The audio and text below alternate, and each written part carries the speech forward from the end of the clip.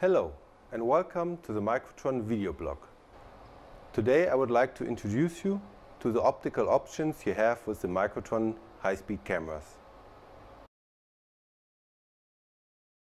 When you order a Mikrotron high-speed camera, the standard configuration will be a C-mount which is readily assembled in the front of the camera. Here you can see the two C-mount front plates uh, mounted on Cube and Minis. They are identical. The C-mount of the camera enables you to attach a huge variety of lenses from all kinds of manufacturers. We offer a range of Kowa lenses from three different series, which uh, mainly differentiate by the image circle they provide and how fast they are. The Kowa XC series, which can be recognized with a golden ring, covers an image circle of 4 thirds of an inch and will cover all sensors fully.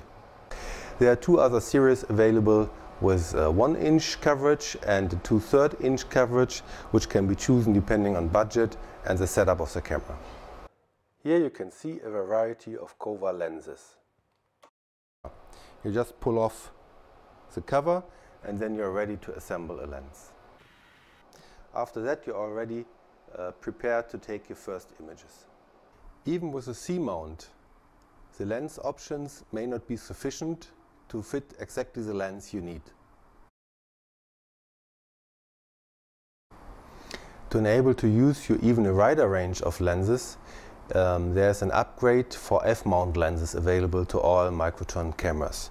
It looks like this and can be ordered pre-installed or you can change it on your own. I brought a range of lenses with F-mount to show you. So this would be a standard lens which comes with any normal digital camera. This would be a macro lens which enables you to scale one to one. Uh, and this would be a tele lens um, to shoot for larger distances. Of course, any kind of zoom lens will also fit to the camera. And to mount these lenses, you simply fit them in the right position into the mount, turn them, and you're ready to shoot. The classic F-mount lenses have a manual iris ring which will adjust directly the aperture inside the lens to the desired setting. As you can see in this sample image, manual iris rings are no longer present in modern lenses. To be able to access the iris still manually on our cameras, you can get either a C to F mount adapter the C to F mount adapter with FG mount capabilities offers the same internal lever, external ring to adjust the right position of the aperture.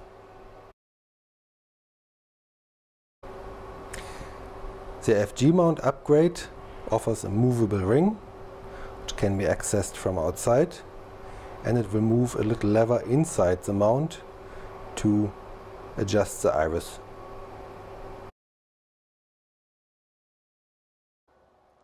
simply attach the mount to the camera and with the additional program on your PC you will be able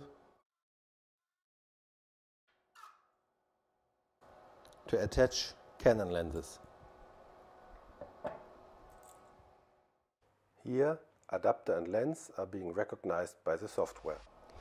After this is done, the lens will show up in the little program and you are able to control focus over the full range of the lens and you can control the aperture.